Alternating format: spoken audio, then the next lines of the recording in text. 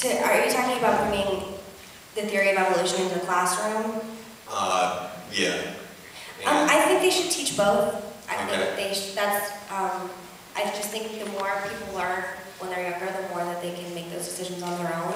So you think it's logical to show intelligent design as a scientific theory?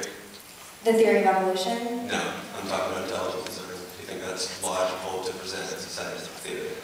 Yes, Okay. I don't, I'm, Creationism. But creationism, you should just say creationism. Inte- I'm sick, I'm sorry, I'm Intelligent tired. design and evolution can be, can work together. Yes, I do, and I think the Vatican agrees with that. Okay. The Vatican and Vatican II came to a point where it said that the story of the creation and the theory of evolution in no way demean one or the other story. And that's what I believe.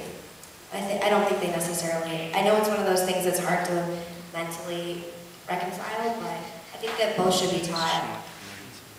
I think the more people learn about more things, the better.